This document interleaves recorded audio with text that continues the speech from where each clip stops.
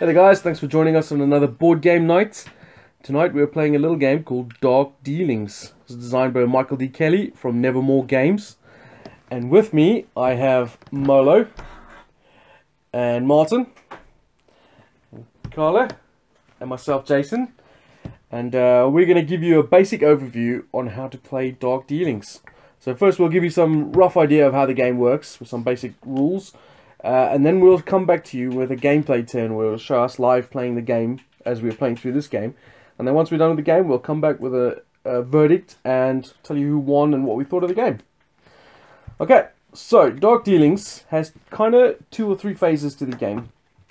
The first thing we're going to do is the hero phase. So each person gets dealt out nine of these hero cards. And we're going to draft out eight of them. And what we're looking for mainly at the moment is the first half of the game is this number at the bottom here. Uh, this is kind of like the challenge value, or, or, the way I look at it is currency. Uh, the higher the number, the more currency you get.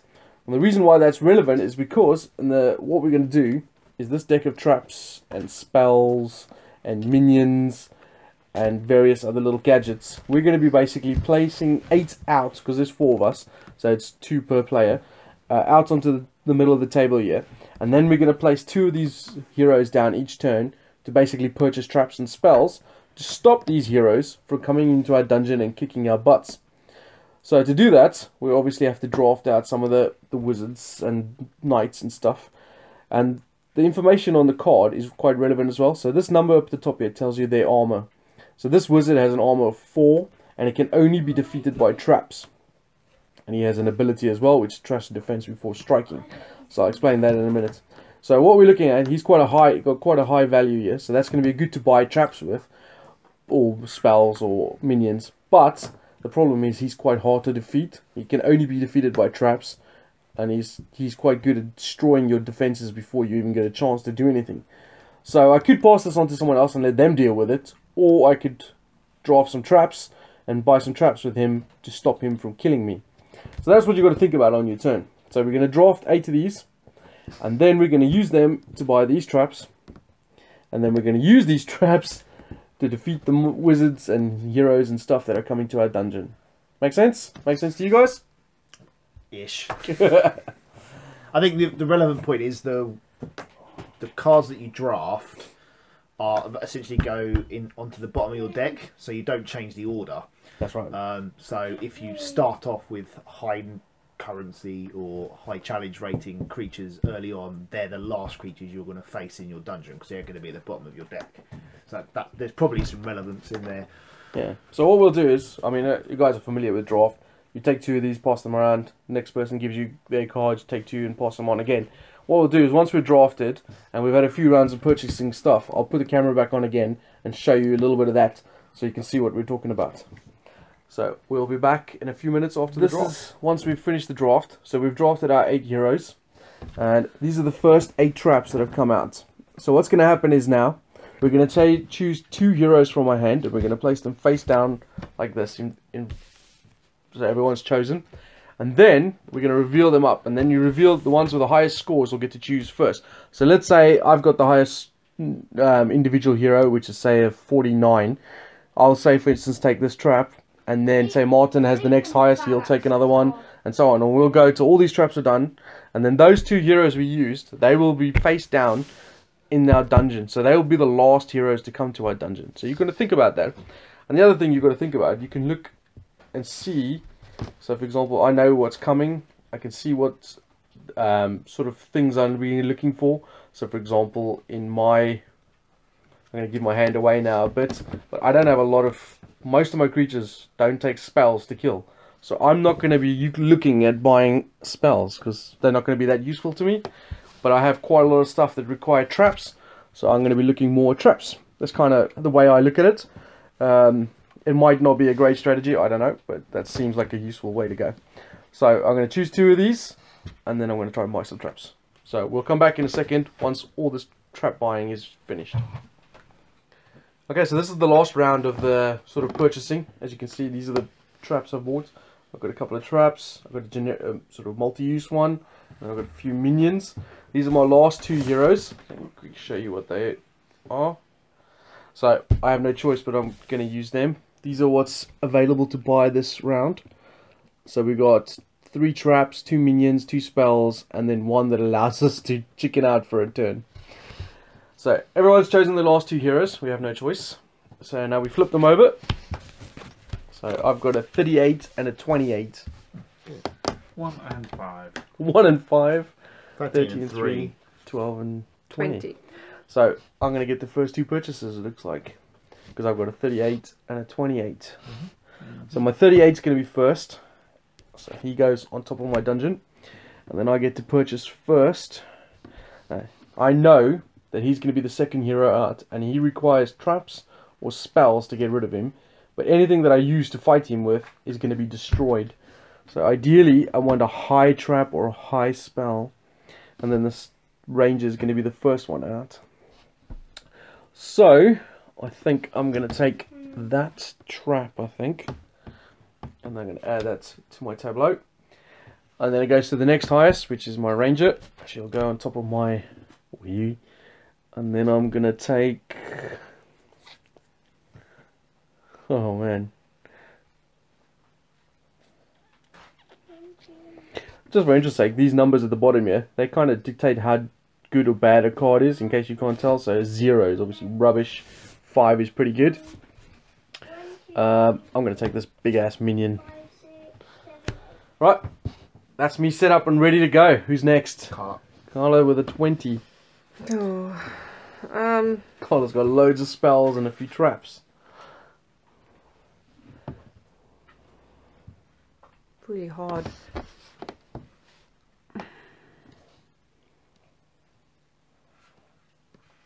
Who's off to Carla? Me. And my problem is they're both wizards. Ah, what do they do again? They trash stuff. Trash a defense before striking. Oh, that's really bad. Yeah, hence I was saying, oh god, that's really bad. I don't know if I was too last. Okay, I think. I don't know. I, I think it's gonna have to be this one. Another spell. I don't really see that I can. Okay, so flip over the 20. Quick look at that. Put current healing and redraw. I think I'm going to take the spell. Screw it. Okay, and then it's Carla again. Me.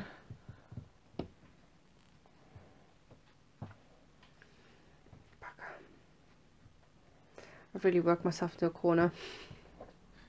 Uh, there's one that I don't think I can defeat in my uh, my group. Let's just hope he's low down. Or maybe you should take this goblin to send him to the bottom. Yeah, uh, that wasn't explained by the way, but uh, the winner is the person that's left alive Yeah. the longest. So it doesn't matter if there's things in your deck that you can't kill, as long as you outlive everybody else, that's fine. and So- we are gonna die. So what does he do? He just moves it on. Yeah, so when you reveal the first or the hero Mm. and you can't defeat that hero, you can spend that to send the hero to the bottom and then redraw the next hero. So it that gives- means one less trap though. Yeah. yeah, and or- but it does mean you you can potentially get a hero out that Delay- you can defeat. Delaying yeah. the inevitable. But that's fine. Outliving other people is better. Yes. The heroes feel sated once they've killed the three of you. Um. Oh man, this is hard. I think. In theory, those top three cards are better than this bottom card, apparently. Well, it is because they actually kill, whereas that does not. It just delays. All low damage though. You're gonna get that goblin on you. I've already got one. I know, but you love goblins. I do love goblins. I don't know. I think I might have to take him because I don't don't remember what his what's Order. them is. Well, Not his order, just how strong he is. If he's a three, then that might be okay for me. So you're gonna take him, yeah? Oh, Fucker. What was it?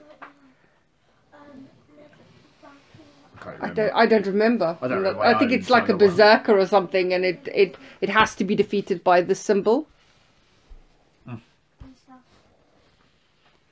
You know what, stuff it. I'm gonna take. Just give me the goblin because I can't reach. I would have taken that because it's good, to trash for the wizards as well. okay. Go ahead, Milo. Your two. My teeth, uh, I will take. Oh, that is a hard decision actually.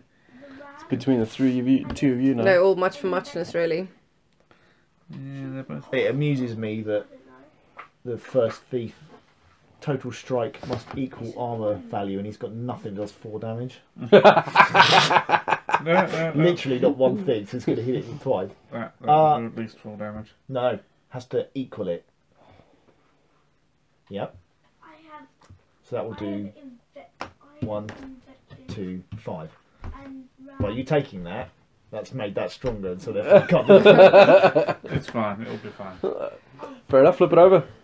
Okay, so that is. So five. And then Martin, you get to choose one of these remaining. I spent, um, You want minion or trap?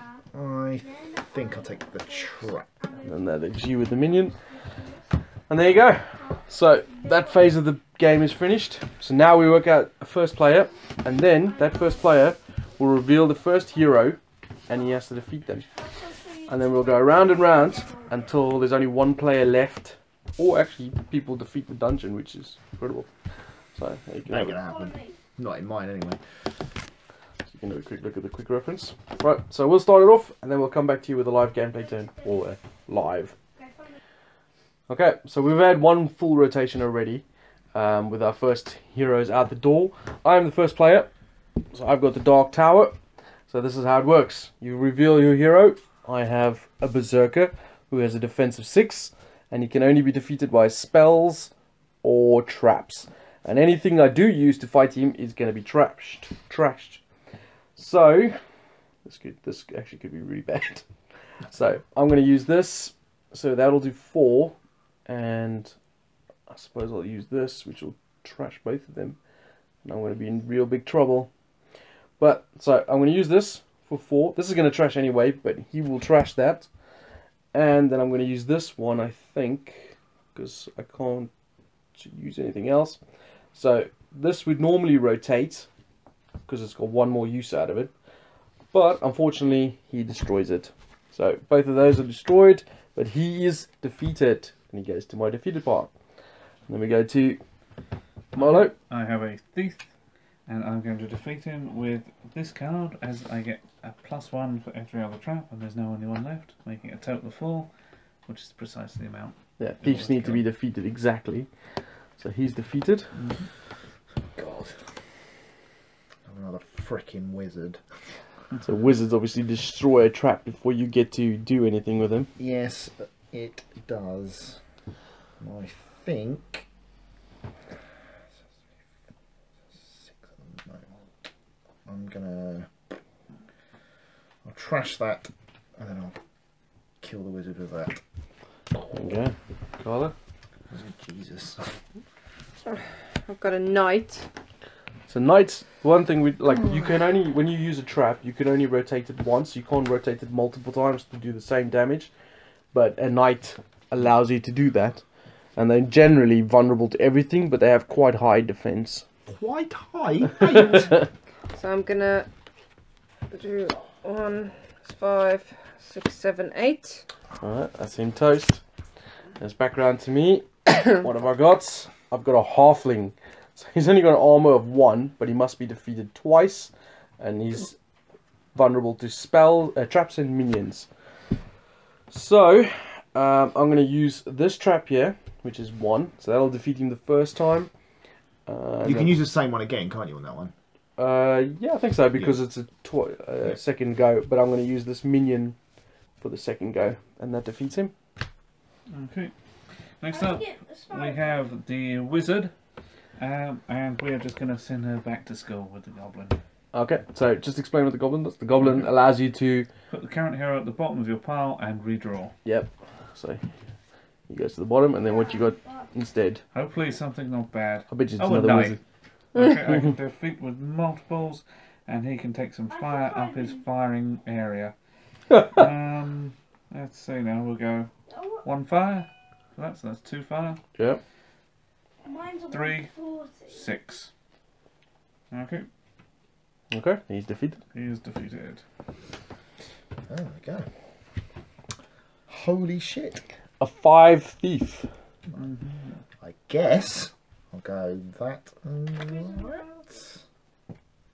I don't think we can do that. Ooh, hang on. might. Just to show you, like the thief has to be defeated by exactly five. What that means is you can't go over. I, The, I'll do that instead. Yeah. So that's three plus one for each other spell I have. okay, so that's So five. five. So he's defeated. As you can see, we're running short on traps and stuff now. Ooh, yeah. What have you got? A ranger. Oh, a seven as well. Good.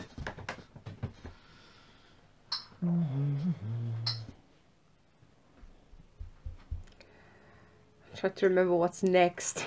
So I don't use all of the. but I can't remember. Um. Crap. A ranger's a Okay, so I'm gonna do a four, Mhm. and then a five, six, seven. Okay. So um, yeah, Toast. Then it comes back around to me. So that's two full rotations we've done. No one died in that spell, so maybe I should have filmed a round or two later. That's getting close, though. I Yeah, think. well, let's see what I got. I've got a knight. Oh, nice and easy. Alright, so we'll be back at the end of the game when uh, I've defeated all my heroes. Okay, so we finished off the game. it was one spectacular round where Carla revealed a thief that could only be defeated hmm. by a five spell, and she didn't have it. So the thief ran in and stole her heart. yeah, I had lots of spells, Yeah, just not couldn't make up not a five. she made up more than five or less than five, so it didn't work. And I was laughing at her, pointing at her, thinking, ha ha. And then a thief came up where it can only be defeated by minions for a four. And for some strange reason, I couldn't make up a four. I had seven Same or six. situation. Yeah, same situation. So the thief beat me up as well. So both of us died in quick succession. Milo had one trap left, which was a one-one-one minion, and uh, revealed a berserker, which just ran over those minions and killed him. So that left Martin on his own. I and, uh. He had and a ranger turned up, which I Hey. killed him. he did yeah he, he killed him. He didn't need to either because he won because all three of us died. However, I'd have been completely defenseless for the next two, but it doesn't matter. No, it doesn't. You lasted longer than everyone else, and that's what counts for victory. It's all that counts. I only had two more cards left. I had a wizard and a berserker, and I only needed minions. So this trap was absolutely useless. But I could have used it with this thing. But alas, that is that. Okay, so the game is done. Uh, it was pretty quick. I mean, what did we play? Even with the filming, 20 minutes, yeah. So let's have a quick chat. What did you think, Milo? I, I don't mind it. It's a solid, quick little game, you know. Really quick little filler. Any other any other comments? Um, I, I, I do like the sort of the mechanism of defeating monsters where you're taking down your traps. You're, you're essentially just dripping away your chances of winning. And Just uh, hoping everyone else dies in the turn before you. trying to memorize that set and what's perfect for it while trying to grab stuff with it. It was nice. Fair enough. How much would you give it out of 10? Uh, probably about seven, I think, for this one. Alright, fair enough. How about you, Mart? Yeah, I think it's decent. I it kind of gives you a feel of like dungeon lords and welcome to the dungeon that sort of thing. It's that sort of same feel. And like you said before, a, a kind of a similar mechanism to for sale. Although I don't know why, but I think I slightly prefer for sale. I'm not really sure what it is about it, but I think this is decent. You know, it's, it does what it aims to, filler kind of thing. Yeah, really quick. Um, I think it's a, I think it's about a six out of ten. Fine, yeah, not a problem. How about you, Carla? I like it. I think um, it's quite deceptive in terms of when you play, you think it's going to take much longer than what it should. But this last section, it goes very, very quickly.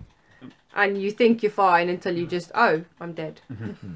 I mean, the, the end round is a mm. little bit, a little bit kind of like Galaxy Trucker, kind of a bit prescribed, where you, I mean, your decision is which trap do I use, but basically it's just like this is what's happening, and Yeah. sometimes you don't even have a choice. So that's why I would say it's. I mean, that's why it runs quickly because it's almost on autopilot. But Yeah, But you- all your decisions were made earlier. Yeah. You know, you all every single choice, every time you you chose one of the the cards, these ones, you decided to put it in your deck. however, the, the order you put them in is all trying to get the traps that you're gonna get. The, the the flip side of that is I chose specifically like holy crap I really want first pick in Mm. this choose my highest guy and I ended up fifth Yeah. which isn't that helpful. You know, I'm thinking, oh, I'm going to get first pick here, and I end up fifth pick. So, So that, that's kind of in for sale. That reminds me of that as well, where you you put in your like uh, your big fifteen. You know, you've got like a brick house or something, and you put it in thinking, oh, this is going to give me a, a good money, and then someone else has put in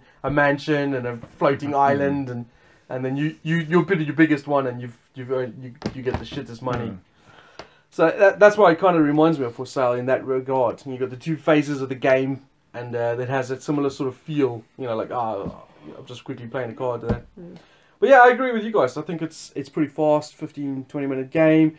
It's decent artwork, Mm. really quickly. Oh, that was cutesy. Sort.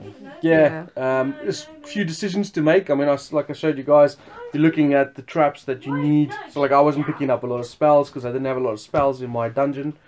Um, so there's some thought there. Um, yeah, I think I'd give it a 6.5. There's some expansions as well that I haven't tried yet. You got one here we call the Dastardly Dragons and Gnome Illusionist. Illusionist. so I think this adds some new heroes, uh, things like that. And then you also have um, interactive defenses and flexible defenses, which gives you different types of defenses. Now, I believe if you order through Barn from the CCG, um, these come with the base game. I think. Don't quote me on that. You can contact him via his Facebook page, and he'll he'll let you know more that's the about that. CCG and Board Game Social, by the way. Yeah, I just say CCG because I'm clearly going to get it wrong. uh, but yeah, I thought that was pretty good. Nice little fun filler game. Um, Carla didn't score it, by the way. oh yeah, how much? Did... No, I don't score them because I, I, I don't. It's eight or two. It is eight or two with me, and I, I don't mind having this in my collection. This is something I would take out and play quite regularly. I think um, I like it at the end of a heavy game. This breaks it up, or at the beginning of a game, uh, game evening.